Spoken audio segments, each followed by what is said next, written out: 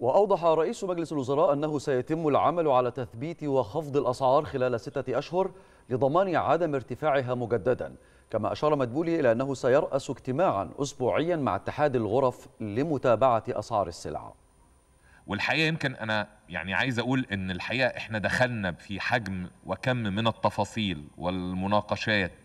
والتفاوض مع يعني ممثلي القطاع الخاص عشان يبقى فيه توافق على كل الآليات اللي هم طالبينها من الدولة وإحنا يعني بدأنا فعلا هذه الإجراءات وهناخد كمان يمكن يعني قرارات السيد وزير المالية هيعرض عليها وهوقعها فيما يخص يعني تعليق الرسوم عدد من الرسوم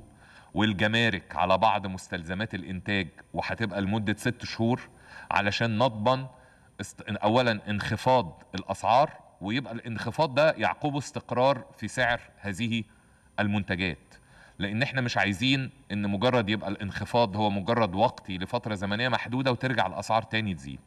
فعشان كده توافقنا إن نفس الآليات اللي هم طلبوها من البنك المركزي ومن وزارات المعنية ومن وزارة المالية هتستمر تنفيذها